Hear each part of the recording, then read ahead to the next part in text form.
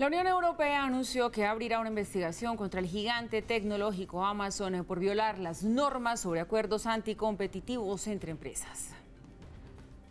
La multinacional y número uno en ventas por Internet, Amazon, está en la mira de la Comisión Europea por supuestas prácticas contrarias a la competencia.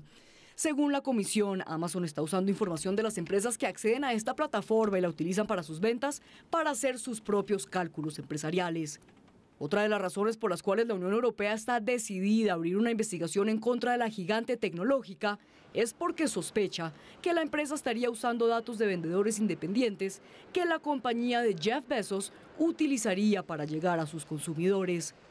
Margaret Vestager, directora de esta investigación, sabe que el e-commerce ha impulsado la competencia en el comercio y ha permitido más variedad de elección y mejores precios, por lo que debe asegurar que las grandes plataformas online como Amazon no eliminen estos beneficios mediante un comportamiento anticompetitivo.